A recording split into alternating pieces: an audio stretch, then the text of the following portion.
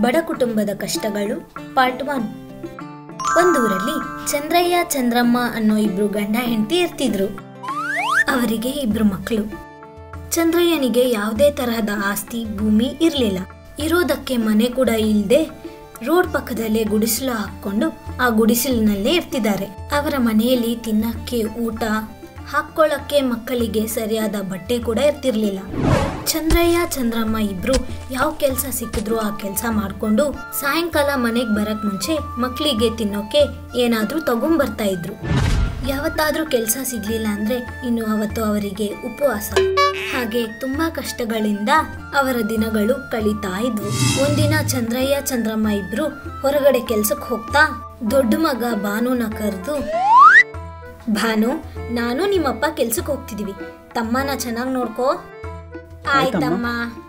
ಹುಷಾರು, ಎಲ್ಲೂ ಹೋಗ್ಬೇಡಿ ಅಂತ ಅಲ್ಲಿಂದ ಹೊರಟ್ರು ಇಬ್ರು ರೋಡಿಗೆ ಬಂದ್ರು. ಅಲ್ಲಿ ತುಂಬಾ ಜನ ಕೂಲಿ ಕೆಲಸಕ್ಕೋಸ್ಕರ ಎದುರು ನೋಡ್ತಿದ್ರು. ಕೆಲಸ ಮಾಡೋರು ಬೇಕಾದವರು ಗಾಡಿಯಲ್ಲಿ ಬಂದು ಅವರು ಎಂತ ಕೆಲಸ ಮಾಡಬೇಕು, ಯಾವ ಕೆಲಸ ಮಾಡಬೇಕು, ಎಷ್ಟು ಜನ ಬೇಕೋ ಅಷ್ಟು ಜನನ ಅವರು ಮೊದಲೇ ಕರ್ಕೊಂಡು ಹೋಗ್ತಿದ್ರು. ಒಂದಿನ ಎಲ್ಲಾರ್ಗೂ ಕೆಲಸ ಸಿಕ್ತಿತ್ತು ಒಂದಿನ ಯಾರಿಗೂ ಕೆಲಸ ಸಿಗದಿದ್ರೆ ಮನೆಗೆ ತಿರುಗಿ ಹೋಗ್ತಿದ್ರು. ಹಾಗೆ ಚಂದ್ರಯ್ಯ, ಚಂದ್ರಮ್ಮ ಇಬ್ರು ಕೆಲಸ ಕೊಡೋರಿಗೋಸ್ಕರ ನೋಡ್ತಿದ್ರು. ಅವಾಗ ಒಬ್ರು ದೊಡ್ಡ ಮನುಷ್ಯರು ಸ್ಕೂಟಿಯಲ್ಲಿ ಬಂದು, ಏನಯ್ಯ ನಮ್ಮ ಮನೆಯಲ್ಲೊಂದು ಕೆಲಸ ಇದೆ, ಬರ್ತೀರಾ? ಹಾ ಸರ್, ಬರ್ತೇನೆ. ಏನು ಕೆಲಸ ಮಾಡಬೇಕಾಗಿದೆ? ಅಂಗಳದಲ್ಲಿ ಹುಲ್ಲಿದೆ ಅದನ್ನು ತೆಗಿಬೇಕಾಗಿದೆ. ಇಬ್ಬರ ಕೆಲಸವಿದೆ. ಹಾಂ, ಸರ್, ನಾನು ಮತ್ತು ನನ್ನ ಹೆಂಡತಿ ಇಬ್ಬರೂ ಬರ್ತೇವೆ. ಹಾಂ, ಸರಿ, ಆಟೋ ಹತ್ತಿ ಅಡ್ರೆಸ್ಗೆ ಬಂದ್ಬಿಡಿ. ಅಂತ ಅಡ್ರೆಸ್ ಕೊಟ್ಟು ಹೊರಟ್ರು. ಅವರ ಹಿಂದೆನೆ ಚಂದ್ರಯ್ಯ ಚಂದ್ರಮ್ಮ ಇಬ್ರು ಹೋದ್ರು. ಹೋದಾಗ್ಲಿಂದ ನಿಲ್ಲಿಸ್ದೇನೆ ಕೆಲಸ ಮಾಡ್ತಾ ಇದ್ರು.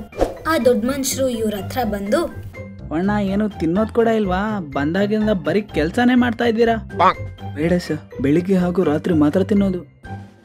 ಅಂದ ಕೂಡ್ಲೆ ದೊಡ್ಡ ಮನುಷ್ಯ ಆಶ್ಚರ್ಯದಿಂದ ತಿನ್ನೋ ಊಟ ಇಲ್ಲ ಅಂತ ಹೇಳೋ ಬದಲು ನೀವು ಎರಡೇ ಹೊತ್ತು ಊಟ ಮಾಡೋದು ಹೇಳ್ತಾ ಇದ್ದೀರಾ? ಬನ್ನಿ ನಾನು ಕೊಡ್ತೇನೆ. ಬೇಡ ಸರ್ ಇವತ್ತಿಂದ್ರೆ ನಾಳೆನೂ ಈ ಹೊತ್ತಲ್ಲೇ ಹಸಿವಾಗುತ್ತೆ. ನಾಳೆ ನಿಮ್ಮ ಥರ ಕೊಡೋರು ಯಾರು ಇರಲ್ವಲ್ವಾ? ಬೇಡ ಸರ್. ನಾವು ಕೆಲಸ ಬೇಗ ಮುಗಿಸಿ ಮನೆಗೆ ಹೋಗ್ತೀವಿ. ಮಕ್ಕಳು ಕಾಯ್ತಾ ಇರ್ತಾರೆ. ಆಯ್ತು ನಿಮ್ಮ ಇಷ್ಟ. ಅಂತ ಹೇಳಿ ಅಲ್ಲಿಂದ ಹೊರಟೋದ್ರು. ಚಂದ್ರಯ್ಯ ಚಂದ್ರಮ್ಮ ಇಬ್ರು ಕೆಲಸ ಮಾಡ್ತಾ ಇದ್ರು. ಕೆಲಸ ಎಲ್ಲ ಮುಗಿದ್ಮೇಲೆ ಆ ದೊಡ್ಡ ಮನುಷ್ಯ ಹತ್ರ ಬಂದು ಕಾಸು ತಗೊಂಡು ಹೋಗುವಾಗ ಆ ದೊಡ್ಡ ಮನುಷ್ಯ ಇಟ್ಕೊಳ್ಳಿ ಈ ಹಣ್ಣು ನಿಮ್ಮ ಮಕ್ಕಳಿಗೆ ಕೊಟ್ಬೇಡಿ. ಅಂತ ಹೇಳಿ ಒಂದಷ್ಟು ಹಣ್ಣು ಕೊಟ್ಟರು ಅದೇ ರೀತಿ ಪ್ರತಿದಿನ ಚಂದ್ರಯ್ಯ ಕೆಲ್ಸಕ್ಕೆ ಹೋಗಿ ಮಕ್ಕಳಿಗೆ ಬೇಕಾದ್ದು ಮನೆಗೆ ಬೇಕಾದ್ದು ತಗೊಂಡು ಹೋಗ್ತಿದ್ದ. ಅವರು ದಿನಾ ಎರಡು ಹೊತ್ತು ತಿಂದು ಮಕ್ಕಳಿಗೆ ಮಾತ್ರ ಮೂರು ಹೊತ್ತು ಊಟ ಕೊಡ್ತಿದ್ರು. ಹಾಗೆ ದಿನಗಳು ಕಳೀತಾ ಇದ್ವು. ಒಂದಿನ ಚಂದ್ರಯ್ಯ ಕೆಲ್ಸಕ್ಕೆ ಹೋಗೋಣ ಅಂತ ಹೊರಗಡೆ ಬಂದ. ಆಗ್ಲೇ ಚಿಕ್ಕ ಚಿಕ್ಕ ಮಳೆ ಹನಿ ಶುರುವಾಯ್ತು. ಅದನ್ನ ನೋಡಿ ಅಯ್ಯೋ ಇವತ್ತು ಮಳೆ ಬರೋ ತರ ಇದೆ. ಕೆಲಸ ಸಿಗುತ್ತೋ ಇಲ್ವೋ? ಹೌದು ಕೆಲ್ಸ ಇರ್ಲಿ ಮಳೆ ಏನಾದ್ರೂ ಬಿತ್ತು ಅನ್ಕೊಳ್ಳಿ. ಈ ಗುಡಿಸ್ಲಲ್ಲಿರೋದು ತುಂಬಾ ಕಷ್ಟ ಆಗತ್ತೆ. ಇದ್ರ ಮೇಲೆ ಇನ್ನೊಂದ್ ಪರ್ದೆ ಹಾಕಿ ಗಟ್ಟಿಯಾಗಿ ಕಟ್ಬೇಕು. ಇಲ್ಲ ಅಂದ್ರೆ ಗುಡಿಸಲೊಳಗೆ ನೀರ್ ಬಂದ್ಬಿಡುತ್ತೆ. ಗಟ್ಟಿಯಾಗಿ ಗಾಳಿ ಬಂದ್ರೆ ಗುಡಿಸಲು ಮೇಲ್ಭಾಗನೇ ಹಾರ್ಕೊಂಡು ಹೋಗುತ್ತೆ. ಹಾ ಹಾ ನೀರು ಮನೆ ಒಳಗೆ ಬರದಂತೆ ನೋಡ್ಕೋಬೇಕಾಗಿದೆ. ಮೊನ್ನೆ ನಾನೊಂದು ಬ್ಯಾನರ್ ತಂದಿದ್ದೆ ಅಲ್ವಾ ಅದೆಲ್ಲಿದೆ? ಇಲ್ಲೇ ಇದೆ ಇರಿ. ಅಂತ ಯಾರ್ದೋ ಬ್ಯಾನರ್ ಕೊಟ್ಲು. ಆ ಬ್ಯಾನರ್ ಗುಡಿಸಲ್ ಮೇಲೆ ಮುಚ್ಚಿ ಅದರ ಮೇಲಿಂದ ಹಗ್ಗ ಹಾಕಿ ಗಟ್ಟಿಯಾಗಿ ಎಳೆದು ಕೆಳಗಡೆ ಇದ್ದ ಕಲ್ಲಿಗೆ ಕಟ್ಟಿದ್ರು. ಮಳೆ ಇನ್ನೂ ಜೋರಾಗ್ತಾ ಇತ್ತು. ಜೋರಾಗಿ ಗಾಳಿ ಕೂಡ ಬೀಸ್ತಿತ್ತು. ಚಂದ್ರಯ್ಯ ಗುಡಿಸಲನ್ನ ಗಟ್ಟಿಯಾಗಿ ಕಟ್ಟಿ ಒಳಗಡೆ ಹೋಗಿ ಕೂತ್ಕೊಂಡು ಆಚೆ ಬೀಳ್ತಿದ್ದ ಮಳೆನ ನೋಡಿ. ಹಾ ಇವತ್ತಿದು ಕಮ್ಮಿ ಆಗೋ ತರ ಇಲ್ಲ. ಅದೇ ನನಗೂ ಭಯ ಆಗ್ತಿದೆ. ಅಂತ ಇಬ್ರು ಸೇರಿ ಮಕ್ಕಳ ಜೊತೆ ಗುಡಿಸಲು ಒಳಗಡೆ ಇದ್ದಾರೆ ಹೊರಗಡೆ ತುಂಬಾ ಜೋರಾಗಿ ಮಳೆ ಬೀಳ್ತಿದೆ. ಗಾಳಿ ಬೀಸ್ತಿದೆ. ಹಾಗೆ ಆ ದಿನವೆಲ್ಲ ಮಳೆ ಬೀಳ್ತಾನೇ ಇತ್ತು. ರಾತ್ರಿ ಆಯ್ತು.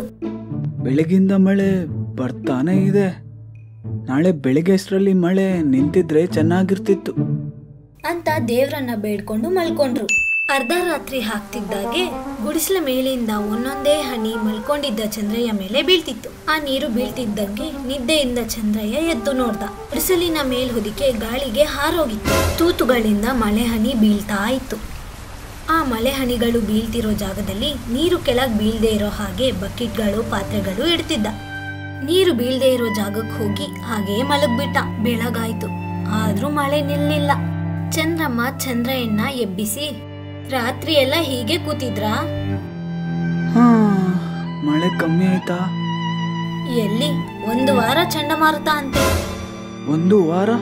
ಈ ಮಳೆಯಲ್ಲಿ ಏನ್ ಕೆಲಸ ಸಿಗುತ್ತೆ? ಕೆಲಸ ಸಿಗೋದಿರ್ಲಿ.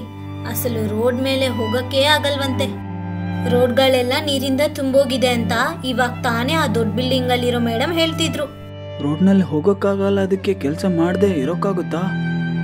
ನೀನಿಲ್ಲು ಏನಾದರೂ ಹುಡುಕ್ತೇನೆ. ನೀನು ಇಲ್ಲೇ ನಿಂತಿರು ನಾನು ಹೋಗಿ ಬರ್ತೇನೆ. ಈ ಮಳೆಯಲ್ಲಿ ಎಲ್ಲೋಗ್ತಿರ್ರಿ? ಬೇಡ ಬೇಡ. ಏನಾಗಲ್ಲ ನಾನು ಬರ್ತೇನೆ. ನಿಲ್ಲು. ಅಂತ ಮನೆಯಲ್ಲಿರೋ ಗೋಣಿ ಚೀಲ ತಲೆ ಮೇಲೆ ಹಾಕೊಂಡು ಅಲ್ಲಿಂದ ಹೊರಟ. ರೋಡ್ ಮೇಲೆ ನಡೀತಾನೆ ಇದ್ದ. ಎಲ್ ನೋಡಿದ್ರು ನೀರೇ. ಮಳೆ ಬೀಳ್ತಾನೇ ಇದೆ. ಶಾಪ್ಗಳೆಲ್ಲ ಬಂದ್. ರೋಡಲ್ಲಿ ಕೂಡ ಜನ ಯಾರು ಇಲ್ಲ. ಮಳೆಯಲ್ಲಿ ತಿರುಗಿ ತಿರುಗಿ ಪೂರ್ತಿ ನೆಂದು ಹೋದ ಚಂದ್ರಯ್ಯ ತಿರುಗಿ ವಾಪಸ್ ಬಂದು ಅವನ್ ಗುಡಿಸಿಲ ಹತ್ರ ಬಂದ. ಏನಾಯ್ತ್ರಿ? ಏನ್ ಲಾಭನೂ ಆಗಿಲ್ಲ. ಅಂತ ಒಳಗಡೆ ಹೋದ. ಮನೇಲಿ ಏನೆಲ್ಲ ಸಾಮಗ್ರಿಗಳಿವೆ? ನಾಲ್ಕು ದಿನಕ್ಕೆ ಸರಿಯೋಗೋಷ್ಟು ಅಕ್ಕಿ ಇದೆ. ಆಯ್ತು ನಾವು ಒಂದು ಹೊತ್ತು ಊಟ ಮಾಡೋಣ ಮಕ್ಕಳಿಗೆ ಎರಡೊತ್ತು ಕೊಡೋಣ. ವಾರ ಪೂರ್ತಿ ಬರ್ಬೇಕಲ್ವಾ? ಸರಿ. ಅಂತ ಹೇಳಿದ್ಲು. ಹಾಗೆ ಅವರು ಒಂದು ಹೊತ್ತು ತಿನ್ಕೊಂಡು ಮಕ್ಕಳಿಗೆ ಎರಡು ಹೊತ್ತು ಇಡ್ತಿದ್ರು. ಹಾಗೆ ಒಂದಿನ, ಎರಡ್ ದಿನ, ಮೂರ್ ದಿನ ಕಳೀತು. ಅವರ ಗುಡಿಸಲಿಗೆ ನೀರ್ ಬಂತು. ನೀರಲ್ಲೇ ಇದ್ಕೊಂಡು ಜಾಸ್ತಿ ಆಗಿದ್ದ ನೀರನ್ನ ಬಕೆಟ್ ಅಲ್ಲಿ ಎತ್ತಿ ಆಚೆ ಹಾಕ್ತಾ ಇದ್ರು.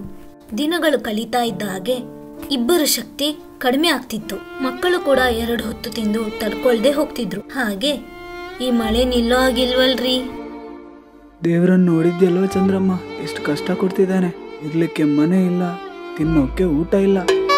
ಕಷ್ಟಪಟ್ಟು ದುಡಿತಾ ಇದ್ರು ನಮ್ಮ ನೆಮ್ಮದಿಯನ್ನು ಹಾಳು ಮಾಡೋಕೆ ಇಂಥ ಮಳೆಯನ್ನು ಕೊಡ್ತಾ ಇದ್ದಾನೆ. ಬಂಗ್ಲೆಯಲ್ಲಿರುವವರಿಗೆ ಈ ಮಳೆ ಒಳ್ಳೆಯದಾಗ್ಬೋದು ನಂತರ ಗುಡಿಸಲಿನಲ್ಲಿರುವವ್ರಿಗೆ ಈ ಮಳೆ ತುಂಬ ಕಷ್ಟಗಳನ್ನು ಕೊಡುತ್ತೆ. ನಾವೇನ್ ಮಾಡಕ್ಕಾಗತ್ರಿ? ಆ ದೇವ್ರ ಆಡಿಸೋ ಬೊಂಬೆಗಳಲ್ವಾ? ಹಿಂಗ್ ಆಡ್ಸಿದ್ರೆ ಹಂಗ ಆಡ್ಬೇಕು. ಅಂತ ದುಃಖ ಪಡ್ತಾ ಇದ್ಲು. ಹಾಗೆ ಒಂದು ವಾರ ಕಳೀತು. ಮಳೆ ಕಮ್ಮಿ ಆಗಿತ್ತು. ಮನೇಲಿ ಇವಾಗ ತಿನ್ನಕ್ಕೆ ಏನೂ ಇರಲಿಲ್ಲ. ಮಳೆ ಕಮ್ಮಿ ಆಗ್ತಿದ್ದಂಗೆ ಚಂದ್ರಯ್ಯ ಕೆಲ್ಸಕ್ಕೋಸ್ಕರ ರೋಡಿಗೆ ಬಂದ. ಹಾಗೆ ರೋಡಲ್ಲಿ ನಡೀತಾ ಇರುವಾಗ ಅವತ್ತು ಕೆಲ್ಸ ಕೊಟ್ಟ ದೊಡ್ಡ ಮನುಷ್ಯರು ಎದುರಿಗೆ ಬಂದು, ಇವತ್ತು ಕಾಣಲು ಸಿಕ್ಕಿಯ ನೀನು? ಯಾವಾಗಿಂದ ಮಳೆ ಆಗ್ತಿದೆ ಅಲ್ಲಿಂದ ಹುಡುಕ್ತಾ ಇದ್ದೀನಿ ನಾನು. ಏಕೆ ಸರ್? ನಮ್ಮ ಕೆಲಸದಲ್ಲಿ ಏನಾದರೂ ತಪ್ಪು ನಡೆದಿದ್ಯಾ? ಇಲ್ಲ, ನಿನ್ ಕೆಲಸ ಇಷ್ಟಪಟ್ಟು ನಮ್ಮ ತೋಟದಲ್ಲಿ ಮಾಲೆ ಇಡುವ ಯೋಚನೆ ಮಾಡ್ತಾ ಇದ್ದೆ. ಅಂತಿದ್ದ ಹಾಗೆ ಚಂದ್ರಯ್ಯ ತುಂಬಾ ಖುಷಿ ಪಟ್ಟ ತಿಂಗಳಿಗೆ ಹತ್ತು ಸಾವಿರ ರೂಪಾಯಿ. ಮೂರೊತ್ತು ಊಟ ಕೊಡ್ತೇನೆ. ಹಾಗೂ ಇರೋಕೆ ಮನೆ ಕೂಡ ಕೊಡ್ತೇನೆ. ಆಗ್ಬೋದಾ? ಅಂತಿದ್ದ ಹಾಗೆ ಚಂದ್ರಯ್ಯ ಅವರ ಕಾಲಿಗೆ ಬಿದ್ದು ಮಾಡೇ ಮಾಡ್ತೀನಿ ಸರ್. ಆ ದೇವರೇ ನಿಮ್ಮನ್ನು ನಮ್ಮ ಹತ್ರ ಕಳ್ಸಿದಿರ್ಬೇಕು.